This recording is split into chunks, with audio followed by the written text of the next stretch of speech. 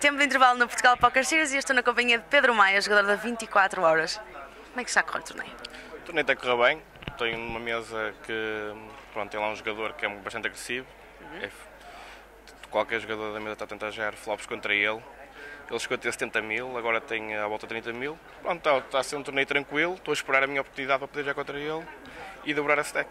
E em relação à tua mesa, é fácil ou está tudo de olho nesse jogador e nem se metem uns com os outros? Uh, a mesa tem uns regulares decentes e depois tem esse jogador. Portanto, está tudo à espera de uma oportunidade já contra ele. Olha, diz-me uma coisa, estou a perguntar a toda a gente, vocês estão a caminho de Las Vegas, quase todos, e este torneio é uma preparação para que venha aí?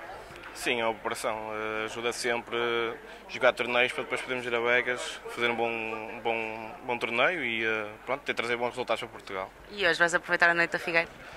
Depende de como correr o dia do torneio. Se, se, passar para o dia a seguir, provavelmente vou descansar.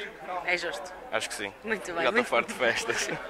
Olha, muito boa sorte. Voltamos a falar daqui um bocadinho. Vocês aí em casa já sabem, sigam Live Report, o